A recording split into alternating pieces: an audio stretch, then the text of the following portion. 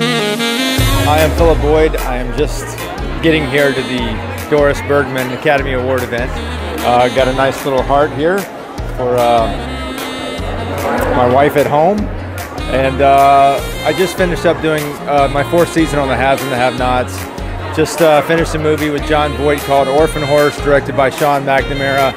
And uh, I'm also going to be in the movie First Man coming out with Ryan Gosling later this year.